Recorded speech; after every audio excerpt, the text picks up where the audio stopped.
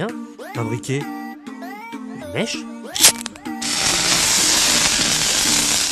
It was at this moment Jackson knew he fucked up.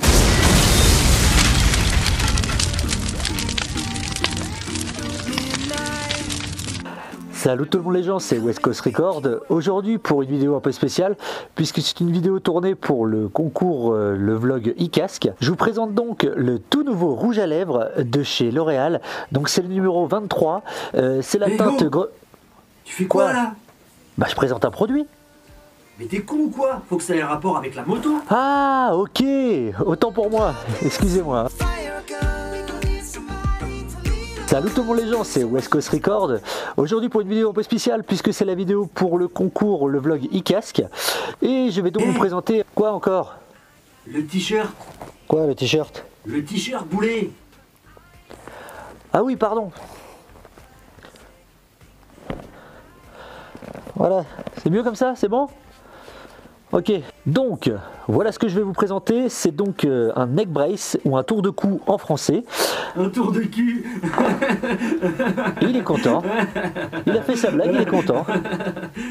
Ferme-la. Un tour de cou pour la moto, les avis sont partagés dans le monde du deux roues. Je l'ai personnellement testé en enduro. Certains disent que ça fait plus de mal en cas de chute. Après, il y a des professionnels qui l'utilisent en compétition régulièrement, qui ont déjà chuté lourdement et qui en sont très contents. Ce neck brace Moveo Dynamic a été conçu par la fondation euh, SIDO, spécialisée dans la conception d'éléments de sécurité dans l'automobile. En clair, ils s'y connaissent un petit peu en sécurité. Ce Moveo Dynamic euh, fait 830 grammes sur la balance, ce qui le place à peu près au niveau des poids de ses concurrents directs. On le trouve à 280 euros en version plastique comme celui-ci. Il faudra rajouter quelques euros pour l'avoir en version carbone et pour gagner quelques grammes. Constitué de trois parties, euh, le Moveo Neck Brace se règle facilement grâce à la clé Allen qui est fournie dans la boîte. Donc vous desserrez la clé Allen là, vous avancez ou vous reculez pour le réglage. C'est très facile et en plus ça s'adapte à toutes les morphologies. À l'utilisation, ça donne quoi me direz-vous? Ça donne quoi? J'y viens. Donc ça se place comme ceci autour du cou. On passe d'abord les bras, c'est plus facile. On passe derrière la tête. On vient accrocher le petit clips devant. On vient accrocher la petite sangle pour verrouiller le tout. Et voilà, vous êtes en place. Certains disent qu'ils ne l'utilisent pas car ça gêne à la conduite. Perso, je l'ai réglé à ma taille et je ne sens pas vraiment la différence en utilisation en enduro. Gauche, droite, aucun problème, bas, aucun problème.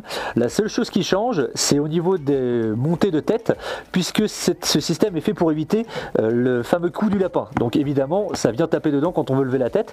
Ça peut gêner sur certaines, euh, certaines grimpettes, mais sinon, je ne sens pas vraiment la différence à la conduite. Après, je n'ai pas encore chuté au point qu'il me soit utile, mais je pense qu'un élément comme celui-là peut sauver des vies.